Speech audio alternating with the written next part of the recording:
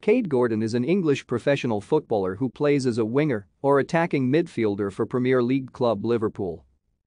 Gordon was born in Derby, Derbyshire. Gordon joined Derby County in 2013 at under-9 level and went on to, to make his senior debut on 29 December 2020 as a substitute in a 4-0 win against Birmingham City.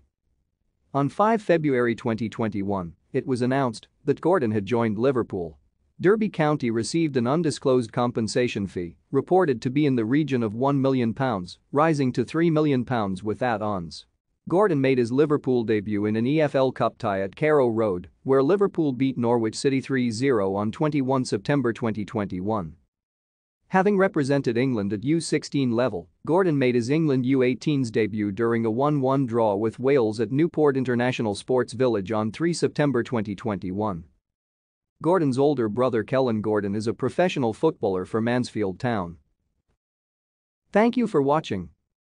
Like and subscribe if you would like to view more of our videos. Have a nice day.